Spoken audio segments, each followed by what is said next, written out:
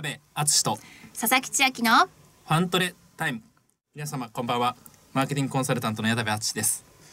皆さんこんばんは。女優の佐々木千秋です。この番組ファントレタイムはマーケティングの観点からファンつまり楽しいことをトレード交換したり共有していこうよというコンセプトの番組です、はい。で前回もですね、オープニングでお伺いしたんですが、はい。起業会社を起こす起こすす起業とかいうね。起業ねはいねについてなんですけれども、矢田部さんが起業しようと思われたきっかけと、またその時の周りの反応はいかがでしたか？はい、はい、あのですね私自身まあ生まれた時からやっぱりこう、なんか生まれてきたからには何かやってやりたいと言いますか、はい。まあ、大きいことをしたいとかですね、えー世の中を変えたいみたいなそういう野心があったので、はい、なんとなくそれを探して、えーずっと来ていたんですね。うん。で大学に行ってですねまあやっぱ素晴らしい仲間と、えー一緒にやったんですけど、はい、やっぱりこうそれだけじゃなくて自分で何かやりたいじゃあうん。日本がどういうところなのかっていうことを見るために、えー外資系に入ったんですね、はい。それドイツの化学メーカうんー馬券の、はい。えーメーカーで一番大きいところに入ったんですけど、ええ。そうするとやっぱりこう世界から見た日本というのも分かりましたし、はい。えー世界はこういうものがあるんだというのが分かったんですけど、ええ。やっぱり今度はですね、まあ、大きい化学メーカーだったのでうん。自分のできることって本当に限定的だし、うん。やっぱり自分のこうやりたいことというよりは、はい。えー組織の中もしくは上司のね、えー意図で僕自身がやらなくちゃいけないことがあったので、ええ。もっとね自分自身で、えーまあ、やってみたいということで起業を、した。はい、志すことにしました。うん。はい。ただですね周りの反応といいますか、これはもしかしてあのー起業された方は同じ印象があるかもしれない。なかなかはい、起業するよって人に言えないんですね。あ。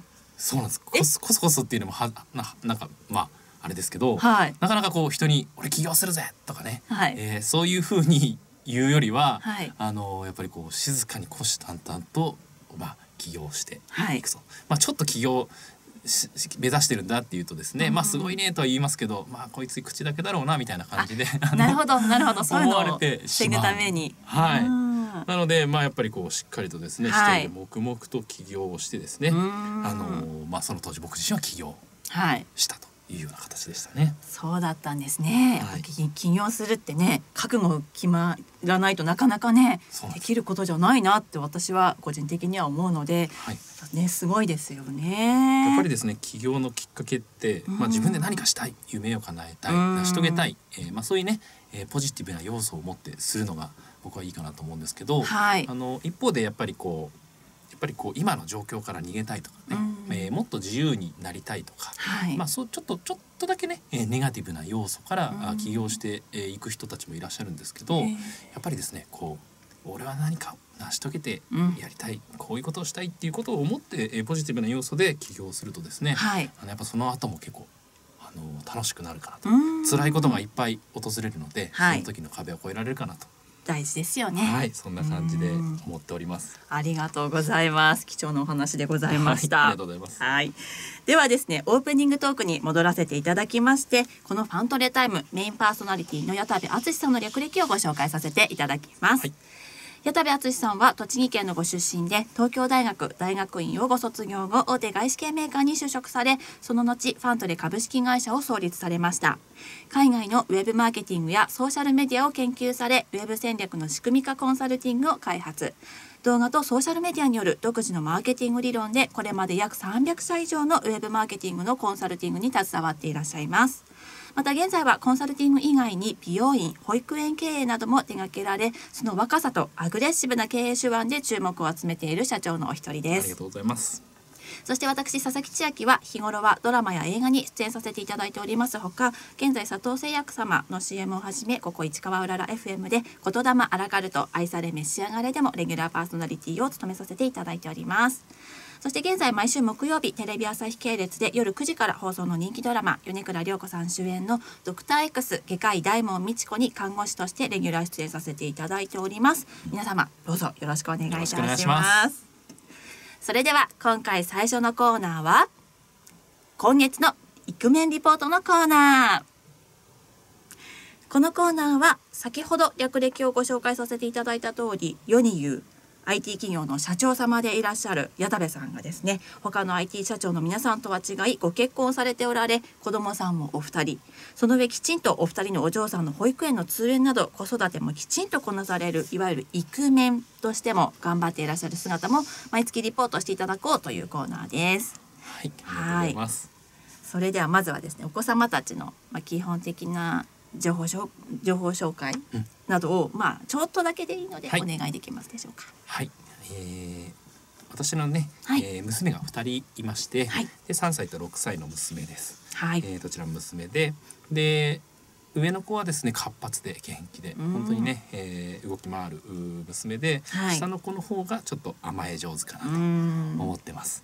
で上の子はですねはい。最近結構、まあ運動結構好きでかけっこ教室に通いたいと。あら。いうことでですね、はい。最近かけっこ教室に行ったりプールに行ったりということでですね。うん。活発に動いております。お。おなるほど、はい、ではですねそんなお二人のお嬢さんの今月のとコーナータというタイトルにありますのでこの1ヶ月一番というかまあトピックス、うん。ね、そこで矢田部パパはどう頑張ったのかまた頑張れなかったのかについてお話しいただけますでしょうか。はい。はい、えー今月はですね、はいあの娘のダイエットというねえ？こうなかなかこうダダイエット？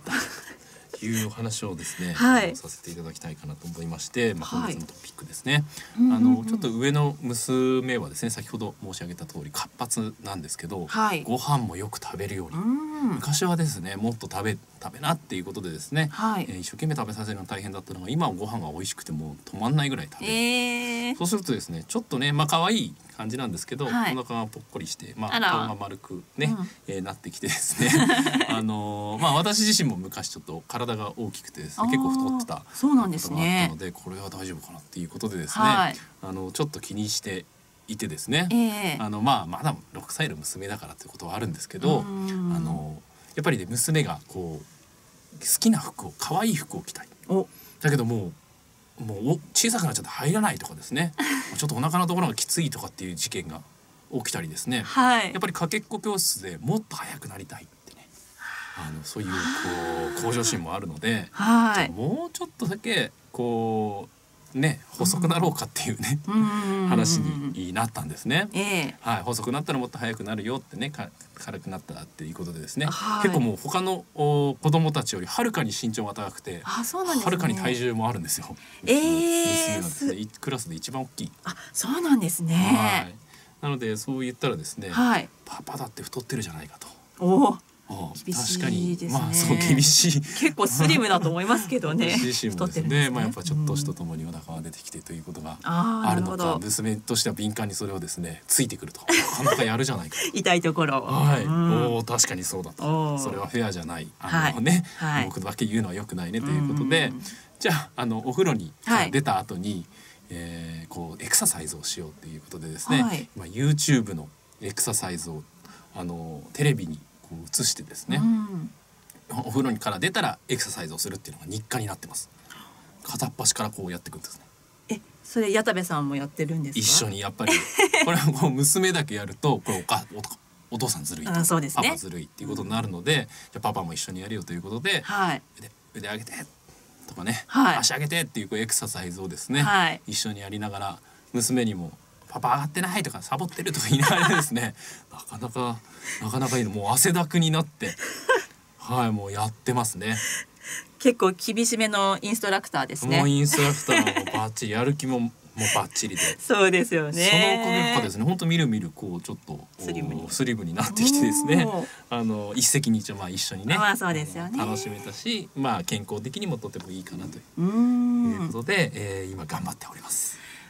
ダイエット。ダイエットエクササイズ。いやーでもおませさんですね小学校六年生でねあしあしごめん六歳で六歳で。六歳でダイエットなんて私考えなかったですけどね、6年生くらいの時に結構こうカロリーとかはすごい詳しくなってましたけどやっねぱ気にしますか。気にしましたでもこ6歳は結構早いなって思います。ね。やっぱこの服が着たいとかちゃんとあるんですね。ね前向きなねちゃんと目標があるんだなと思いましまたす。。そうですね。ああもうちょっとねどんどんスリムになっていく矢田部さんを私楽しみにしております。これ以上痩せちゃったらねなんですけども頑張ってください。はい頑張りますありがとうございありがとうございます。はい以上今月のイクメンリポートのコーナーでした。続いてのコーナーは音楽玉手箱このコーナーは同世代の私と矢田部さんが自分たちの青春というか熱く今でも強く刻まれている楽曲について我々の独断と偏見でちょっと語ってみようというコーナーです。はい。はい。今回は矢田部さんに玉手箱のもと Mr.Children さんの花という楽曲をお持ちいただきました。はい。はい。これは以前のねあのー日系のヒットをつけても、昔懐かしいレコ通信。はい。はい、ありましたが、ええ。えーこここのミスターチルドレンさんは本当にまあもちろん大好きで、はい。ど真ん中の、ええそうですよね。なんですけど、うん。あのー花という曲はですね、はい。すごく僕も思い入れがあの深くてお。僕が中学校の頃にはいすごく大好きだったかっこいい男の先生いらっしゃったんですね。あ男の先生ですね。男の先生でかっこよくて、はい。こういう大人になりたいと思えるような先生でした。ええ。でこの先生がですねやっぱりこう、まあ中学校なんでね、えー他の学校にまあ転任されるということで、まあ最後にあの学校で、挨拶をするんですね。うん。そしたらその先生、まあいつもね本当に面白いことを言うし、はい。あの話すのも上手な先生だったんですね。はい。その時にあのこのミスターチルドレンの、はい。あの楽曲をですね、はい。あの歌詞を持ってきまして、えへー。ーミスターチルドレンさんの花という曲にはこういう歌詞がありますと。はい。えー負けないようにうん。枯れないようにうん。笑って咲く笑って咲く花になろう。うということでですねあの皆さんも、はい。えーそういうこの花のように、えーいつも笑って咲くう人生を過ごしてくださいと。この一言だけ言ってですね、はい。あのその挨拶終わりだったんですけど、はい。もう今でもこれをあのまあ忘れられないと言いますかあの本当に人生ね いろいろありますから、ええ。本当負けないように枯れないようにうん。笑って咲く花になろう、今でも僕はこれを忘れずにずっと持ち続けてると。確かにね。いうことですね。こうなかなかこうなんですかね歌詞を歌詞ってなかなかねこう、うん。そのじ時期時期で受け止め方違うと思うんですけど、そうですよね。ね今でも残ってらっしゃるっていうのは、うん。やっぱりすごい影響力ですよすねご。い影響力ですよね。本当にね。中学生のもう20年経ってもそれをこうねゃる。思うとことこところで思い出すっていうのはやっぱり素晴らしい歌詞だし、えね、え素晴らしい曲だなと思っております。なるほど。じゃあまあこれはね矢田部さんがまあ今に通ずる部分でこの言葉を刻みながら今日まで過ごしてこられたというような印象はい、その通りで。ございます。もうそんなもう本当にその通りでございます。そうですよね。ありがとうございます。ありがとうございますはい。改めまして今お聞きの番組ファントレタイム担当は矢田部敦と佐々木千秋でお送りしております続いてのコーナーはマーケティングラジオ講座のコーナーこのコーナーはこの番組をお聞きの皆様にショートショートセミナーという形でマーケティングの基礎的知識や発想我々の日常生活から感じ取れるマーケティングについて矢田部さんにワンポイントアドバイスをしていただきます、はい。では矢田部さんお願いいたします。はい。本日はですね、はい。インスタグラムおのお話をしたいと思います。インスタグラム。はい。はい人気ですよね。はい。人気のお SNS ではい。あのインスタグラムはですね、えーとても注目を浴びている SNS で、はい。もちろんマーケティングうん。に、えー使うための SNS としてもおすごく注目を浴びております。あそうなんですね、はい、で実はですね今日はもう1回ではあお話ができないかなと思いますので、はい。えー今日は初級編ということで、おえ初級編。はい、まずはですね基はい。礎的な部分についてお話をさせていただきたいと思います。お願いします。はい、インスタグラムはですね、えー皆さんもご存知の通り、はい。えーとても人気なあ、うん。SNS なんですけど、はい。四大 SNS の一つと言われております。お四大 SNS はい。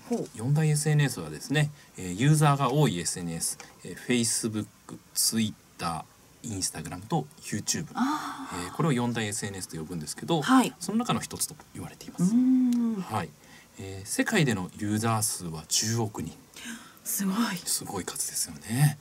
で、日本でのユーザーもですね、はい。えー3300人万人に、はい。えーなったと言われています。えー、結構すごいですね人数がはい。ね、これはですね、えーどういう数字かと言いますと、はい。えーまあ Facebook っていうのはね、インスタグラムよりずっと前からうんあるんですけど、えー Facebook のユーザー数は2800万人と言われておりまして、はい。もう実はすでにインスタグラムが日本では Facebook を抜いていると。そうなんですか。はい。うそのぐらいですね。えー、ほんと短い期間でぐーっと人気になって、えええーまあ、ユーザー数も増えてきたと。もともとはですねやはり20代30代の女性に、はい、えーまあ、人気だったメディアだったんですけど、ええ今はですねもちろん40代50代えー60代の方とかですね、ええ男性の方も、えーまあ、楽しく遊ぶそういったあー。SNS になってます。そうなんですね。はい、そこでですねやっぱりこうファンを増やしたいとかですね、はい。えービジネスにマーケティングに使いたいと言われるような、えーまあ、使い方もされるようになってきておりまして、はい。なのでインスタグラムってどんどんどんどんこういろんな場で、えー注目をされております。なるほど。はい、今日はですねそのインスタグラムを使ってどうやってマーケティングに使えるのか、うん。もしくはですね自分のファンをですね、はい。増やすためにはどういうふうな、えー使い方ができるのかっていうポイントをですねお。3つご紹介したいと思います。いやこれはね私結構気になりますよ。このぜひ三つ。もう女優の佐々木さんもね、えー ぜひこれはですね覚えておきたい3つお伝えしておきます。はい、えー、3つは何かと言いますと、はい。えー1つ目はプロフィールです。インスタグラムのプロフィール。プ。ロフィール。はい、うん。2つ目は、えー投稿する写真についてです。投稿する写真。写真ですね、うん。インスタグラムに投稿する写真について。あはい、はい、3つ目はですね、えー投稿するう本文の内容うん。をテキストについてですね、この3つのポイントをですね、はい。えーちょっとおご説明させていただきたいと思うんですけど、はい。1つ目のプロフィールについてですね。はい。はい、プロフィールは、えーインスタグラムを開けるとですね、うん。えー自分の、おまあ、アカウント名があってその下に、えーまあ、自己紹介のようなね、はい。えー部分があると思います。ええ。で写真を入れるプロフィール写真ってあると思うんですけど、はい。でこのしプロフィール写真とプロフィールの文章を、えーまあ、やっぱりきちんとお書き込むということなんですけどこれ非常に大事です。そうですね。えーこれですねどういう書き方をするかっていうと、やっぱりこうインスタグラム見る人まあほとんどスマホで見られてるんですけど、ええそんなに文章を一生懸命読む、まあ、SNS ではないんですね。うんなのでプロフィールもダラダラと長い文章を書くよりも、はい端的に箇条書きで書くというのが結構ポイントになってきます。そうなんですねはい。なので、えへー、ー箇条書きにするんですけど内容としましては、まあ、はい。ビジネスにね、えーファンを増やすために、えービジネスのために使われる方は、えーまず誰に向けての、おまあ、S SNS なのか誰に向けてメッセージを伝えたいのかをイメージしてプロフィールを書くといいです。なるほど。自分のプロフィールだけれどもはい、誰に向けて？そうですね。あやっぱ書くことね限られてきちゃうのでそうですよね。例えば相手がね、えーママに、えー伝えたいアカウントだったらですねやっぱりママが興味を持つような、はい。えー何歳の娘がいますとかねうん2人の娘がいますとかですねそういうことを書いた方がいいですし、ええ。えーやっぱりこうおファンを、おまあ、例えばモデルさんがファンを増やしたい場合は、うん。えー自分の好きなブランドを書いたりハマっているね、えーまあ、あのエクササイズなんかを書いたりですね、ええ。まあ、そういったね相手をイメージしたプロフィールを端的に、えー、箇条書きで書く。箇条書きで。はい、でもちろんプロフィール写真もですね、はい。これでもう印象決まってしまいますので、え。えープロフィール写真もこだわった方がよくてですね、はい。あの顔がしっかり写ってるってもちろんねあの顔が出せる場合は顔を出してもいいんですけど、はい。えー出せない場合でも、えーやっぱりこうシンプルに、えーうん。素敵な写真にな撮られているとかはい。あの暗い写真よりは明るい写真がうん。いいとかですね、えーまあそのターゲットにとって好印象を持たれるような写真を撮るというのはすごく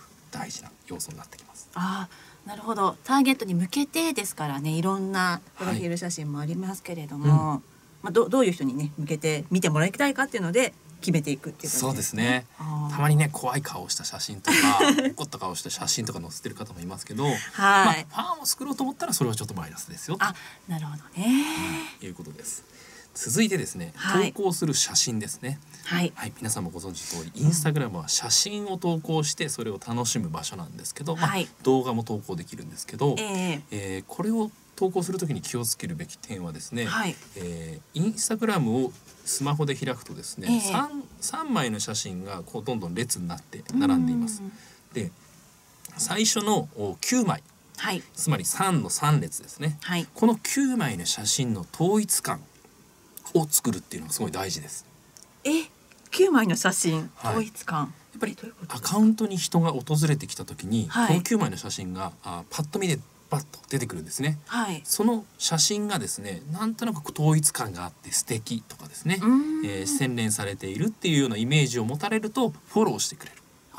なんとなくこういいのかなっていうフォローしてくれるんですね。えー。逆にですね、はい。えーまあこのお9枚がなんかガチャガチャとかねはい。ぐちゃぐちゃしてるとか、い、ろんなまあいろんなこう写真が並んでいてよく分かんなくなってしまっていると、はい。そういうアカウントですとやっぱりこうちょっとセンスがないのかなと。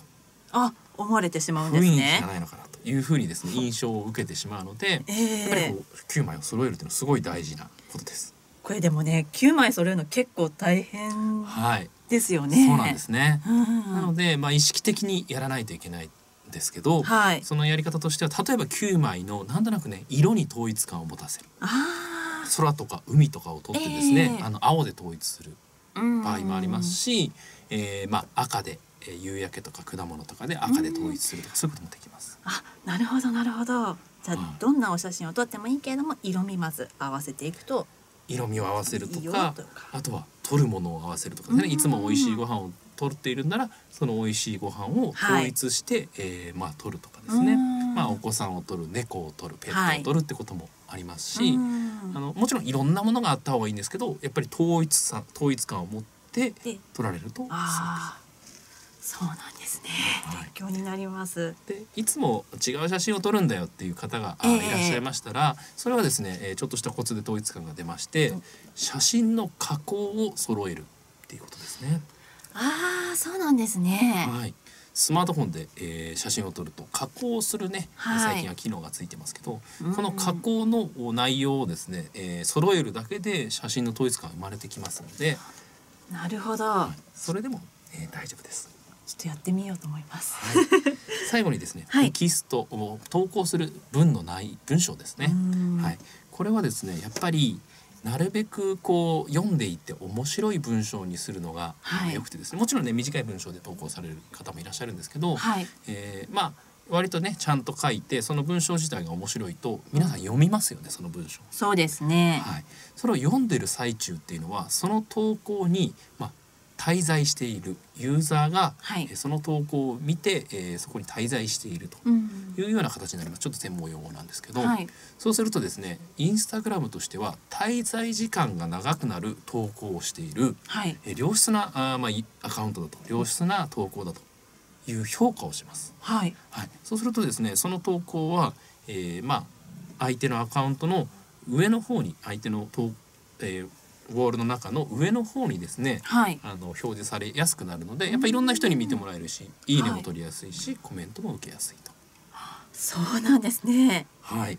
これねあそうなんですね。はい。なのでこう滞在時間をね上げて、はい。えーでまあたまにコメントをしてくれる方もいらっしゃいますので、うん。その人にはやっぱりですねあの丁寧に返信をするとか、はい。その人の投稿もおいいねするとかコメントするとか、うん。こういうコミュニケーションを取る、えーことによってもですね、えーまあ滞在時間をですね、えー伸ばすことができますので、はい。まあその3つのポイントですね、うわあ。はい、意識していただけるといいと思います。